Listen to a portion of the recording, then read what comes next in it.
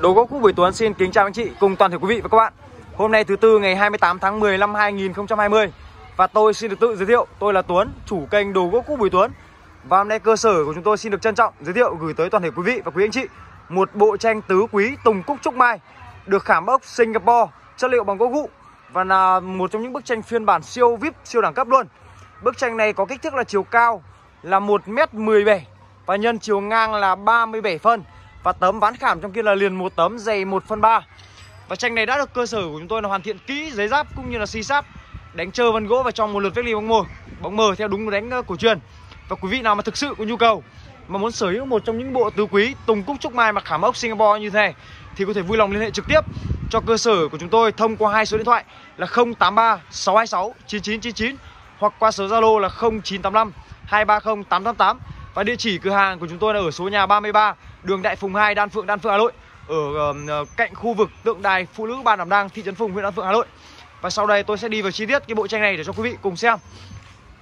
Và đây là một trong những bức tranh à, bức tranh này là bức tranh khuôn uh, khuôn kép. Đó. Khuôn kép hai hai khuôn. Và chúng tôi hoàn thiện rất là kỹ rồi bốn bức Tùng Cúc Trúc Mai tượng trưng cho bốn mùa xuân hạ thu đông. Rất đẹp. Và chúng tôi đã hoàn thiện à, giấy giáp cũng như là vét ly rất là kỹ rồi. Đó và đây là một trong những bộ tranh là được cắt thủ công. Rất kỹ thuật và đỉnh cao luôn. Và đây là số điện thoại của chúng tôi quý vị có thể vui lòng liên hệ trực tiếp qua hai số này.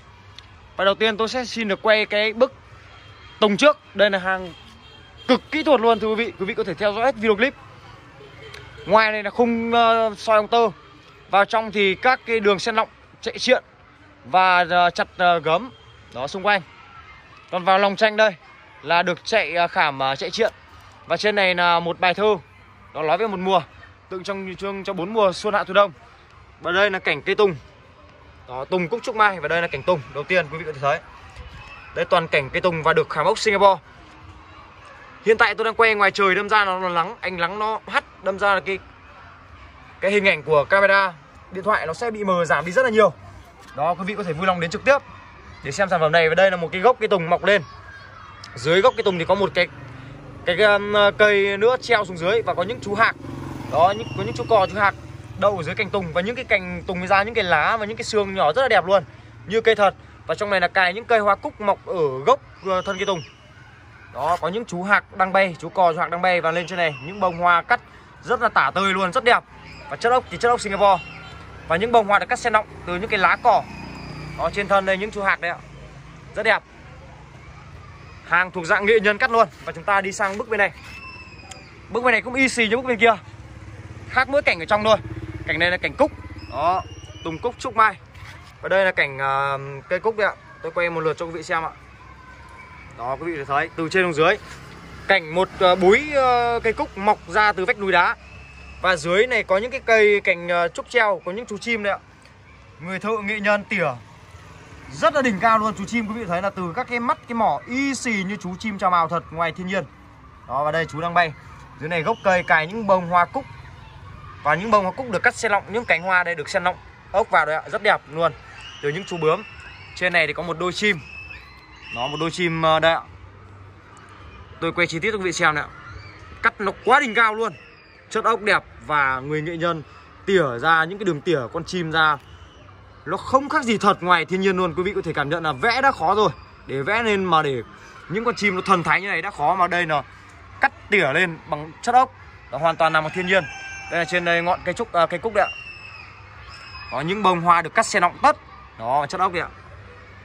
Rất đẹp vàng chanh xanh thiên lý. Càng đi vào chi tiết chúng ta thấy nó càng đẹp. Và sang bên này bước bên này. Bước bên này đây là cảnh trúc. Một khóm trúc mọc ở vách núi đá. Đó, tôi quay ngoài khung rồi thì dưới này tôi sẽ quay ở đằng trong thôi. Và dưới đây, tất cả bốn bức này là dưới đây là có lòng hồ lòng hồ lòng sông ở dưới. Và có những ờ, cây sen, cây súng đang mọc. Người nghệ nhân thổi hồn vào nhìn nó rất đơn giản thôi, nhưng mà nhìn nó sâu cảnh ạ. Và đây cái ờ, khóm trúc đấy ạ, dưới gốc cây. Có những chú chim đang đậu ở dưới những cái cành trúc treo xuống lòng hồ đây, người nghệ nhân người ta thổi ra rất đẹp luôn, từ mắt, từ mỏ, từ dâu ria. Từ những cái lá trúc ra cắt cực kỳ nó sắc nét luôn, và những cái thân cây đốt trúc đấy ạ.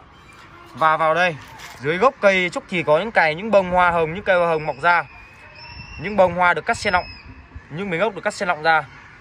Đó, cắt một cái đường xương ở đây, và ghép một cái miếng ốc vào đây, cắt xen lọng rất là thủ, rất là kỹ thuật luôn, và ờ, cắt thủ công bằng tay 100% nha thưa quý vị.